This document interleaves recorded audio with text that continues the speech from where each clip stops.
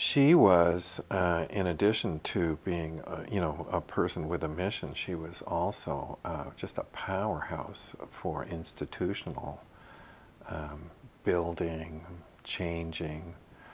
She was brought in to put in a very large change. Uh, my understanding was that there was just doctors and, and, and nurses, a couple of aides running the shop, the, the woodworking shop and she was going to bring in uh, occupational therapists and physiotherapists and the music therapists, and that those people were going to go out into the teams. They were going to form teams, and they were going to revolutionize the hospital.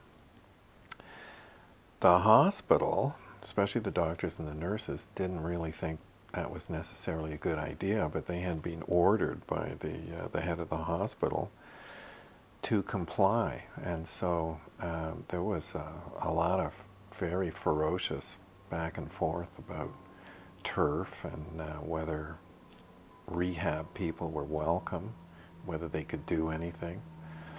Um, almost the first day on the job for me, uh, I was asked to go to the fourth ward and withdraw the services of the rehab which, being new, I assume maybe we do that all the time. And so they invited me into the meeting and, and they said, is there anything you'd like to say? And so I said, yes, I'm, Moyra said, we're withdrawing the services. And there was this look of absolute hatred from all these 20 people in the room.